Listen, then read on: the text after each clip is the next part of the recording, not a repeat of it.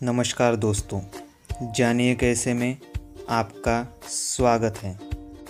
इस चैनल पर हम आपके लिए स्वास्थ्य संबंधित जानकारी लेकर आते हैं। अगर आपने हमारा चैनल जानिए कैसे अभी तक सब्सक्राइब नहीं किया है तो कृपया सब्सक्राइब करें, जिससे कि आप हमारे आने वाले वीडियोस देख सकते हैं। दोस्तों, सब्सक्रिप्शन बटन के पास एक नोटिफिकेशन बेल होगी उस पर आप क्लिक कीजिए, जिससे कि आपको हमारे वीडियोस की नोटिफिकेशन प्राप्त होगी।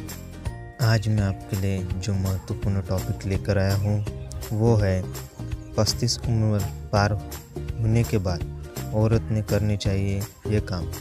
जी हाँ दोस्तों, पस्तीस साल की उम्र पार करते ही महिलाओं के ये पाँच चीज़ें ज़रूरी है। इससे वे सुखी रहेंगे। रोज़ 45 मिनट वॉक करें। सप्ताह में कम से कम 30 मिनट एरोबिक एक्सरसाइज ज़रूर करें। सुबह टाइम न मिले तो शाम करें। स्किप बिल्कुल नहीं करें। ब्लड प्रेशर मेंटेन रहेगा।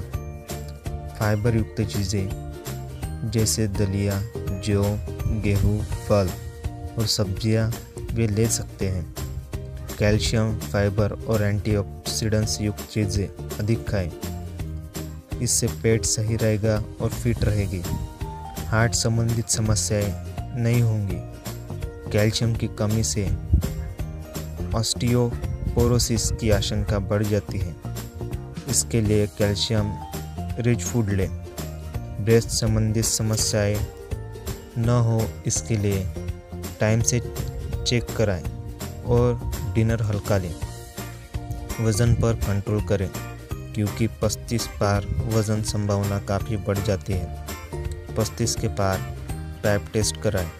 यह टेस्ट गर्भाशय के कैंसर की जाँच के लिए कराया जाता है। उम्र के साथ गर्भाशय संबंधित समस्याएँ होने की आशंका रहती है।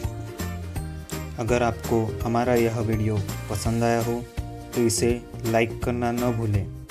किसी भी मदद अथवा सुझाव के लिए आप हमें कमेंट बॉक्स में कमेंट कर सकते हैं।